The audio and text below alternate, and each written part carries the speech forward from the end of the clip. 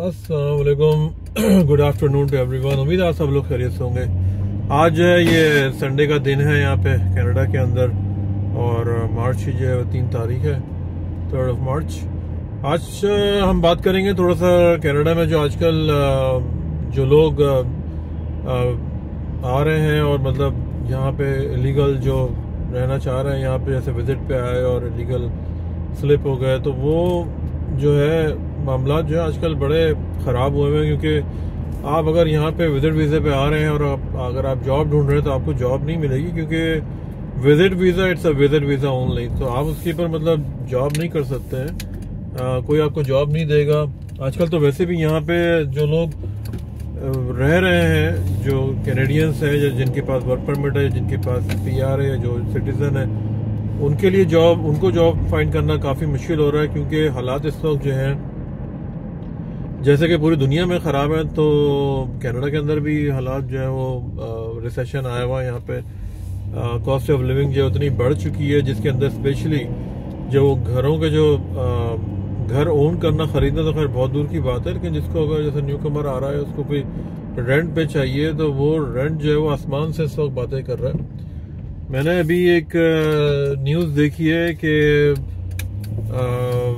G T A Toronto का जो area है, जैसे मिसागा ब्रैम्पटन टोरंटो के जो सिटीज़ है,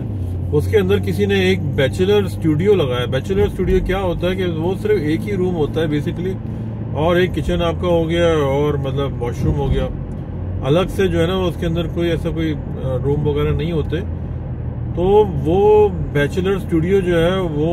उन्होंने जनाब चार लोगों के लिए रखा है और they are asking thousand dollar per tenant यानी फोर थाउज़ेंड डॉलर जो है वो आप एक बैचलर स्टूडियो के आप मांग रहे हैं तो जिसमें चार लोग रहेंगे शेयरिंग के ऊपर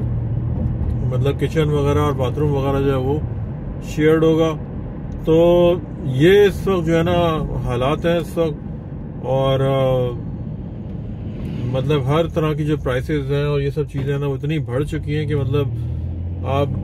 अंदाज़ा नहीं लगा सकते कि इस वक्त कितने प्रॉब्लम्स हैं यहाँ पे सबके साथ ही मतलब जिसमें मैं भी शामिल हूँ क्योंकि महँगाई और ये सब कॉस्ट ऑफ़ लिविंग जो इतनी बढ़ बढ़ती जा रही है हर चीज़ की मतलब घरों का, का किराया है घर की किस्त है मॉडगेज है गाड़ियों का इंश्योरेंस है फ्यूल है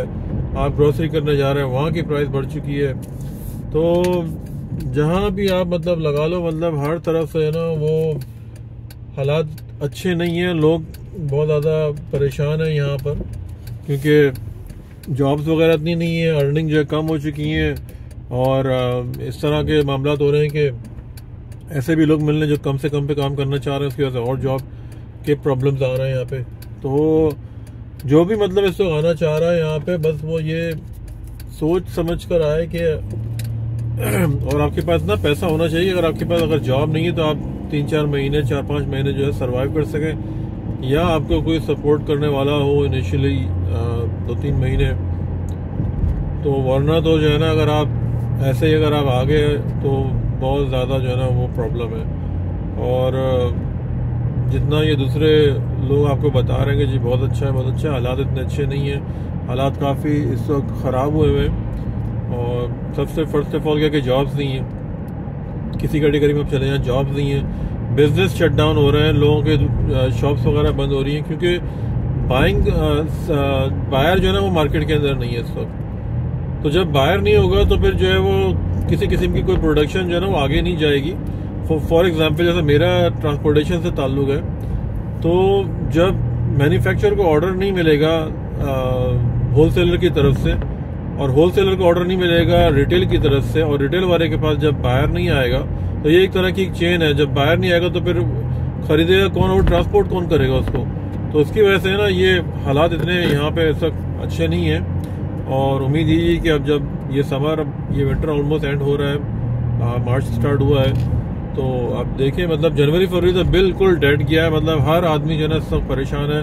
लोगों के पास जॉब के मसले हैं बिज़नेस जो है, वो परेशान है, लोगों की सेल नहीं हो रही है। तो